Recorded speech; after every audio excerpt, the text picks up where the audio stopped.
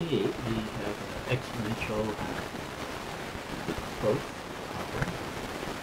And we're given two pieces data.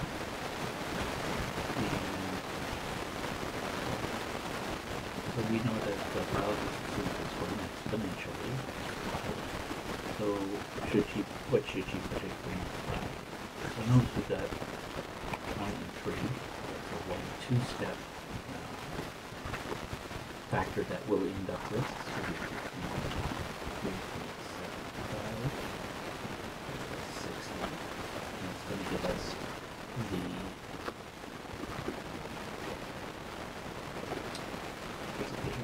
give us? The factor, the growth factor of two, so the two unit growth factor. It's going to be 1.5625. And so since we are growing two units to get from three to five, we take what we had in three and multiply by the growth factor, and that will give us five. So we take that. Um, I guess uh, we'll write that down.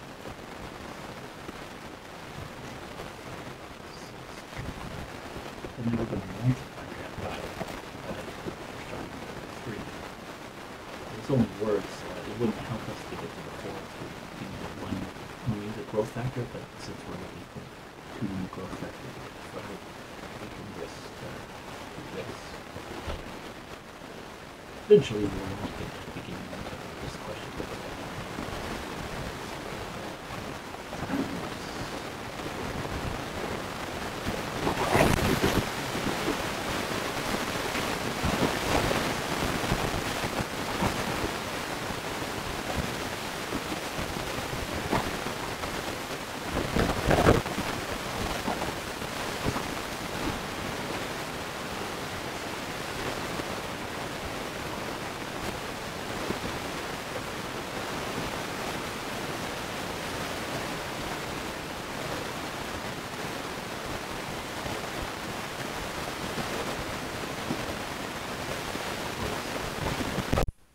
Four, eight.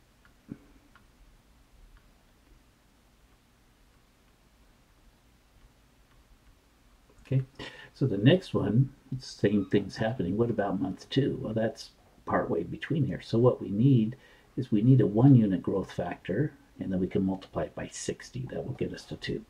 So since we have the two unit growth factor, if we simply take its square root, And if we look ahead, we're going to need this one unit growth factor because they want us to come up with the uh, function for it. So when we put that in there, uh, let's see, let's just clear. Square root is this one, and we put in 1.5625. Um, square root of it, 1.25.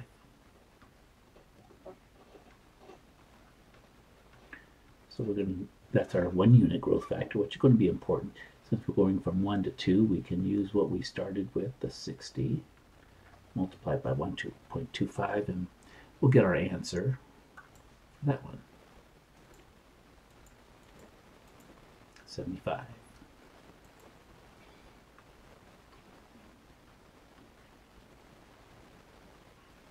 Guess I should box these in. Okay. Uh, write the exponential function that would model the concentration. Well, we have the one unit growth factor, so we know it's going to be, we want to use t. Um, they don't give us anything specific. I guess we could just call it f of t. Is going to be the starting value, which we don't have yet. Um, the growth factor we know is 1.25 and that's going to be raised to the t. So we need to know how much there was at the very beginning. Since we have the growth factor, we know it's, uh, you know, if we take 60 and we divide by the growth factor, we'll get back 1. When we multiply by the growth factor, we go forward, so dividing takes us back 1.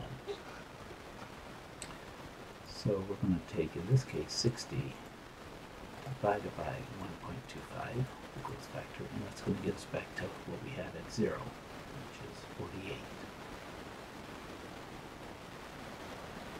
And there's our function. And I guess, you know, say, okay, we figured this one out. You know, just by knowing that growth factor, we multiply to go forward, uh, we divide to go back. Um, so what, by what percent does the population increase each month? So remember that one point two five, if you multiply by hundred, that turns it into a percentage of one hundred twenty-five percent. One hundred percent is, is you're getting back everything you had before, so the twenty-five percent is the growth rate. So subtract off what we started with, one percent, which means twenty-five percent growth.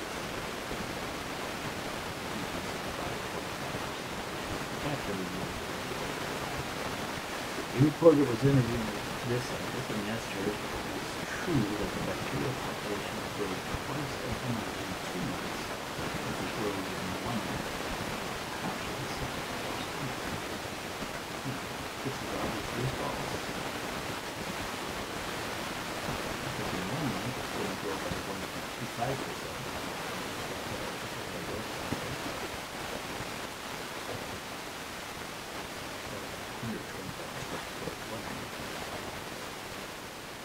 We have to double that for two months, but in two months it doesn't get doubled, it's only like uh, five, six total for two months, not um, this double. So if take one point two five, two.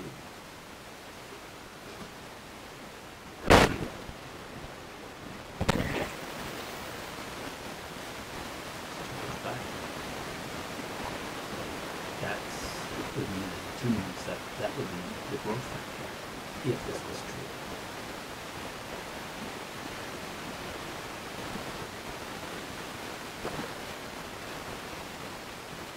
But what we know is the two month growth factor is.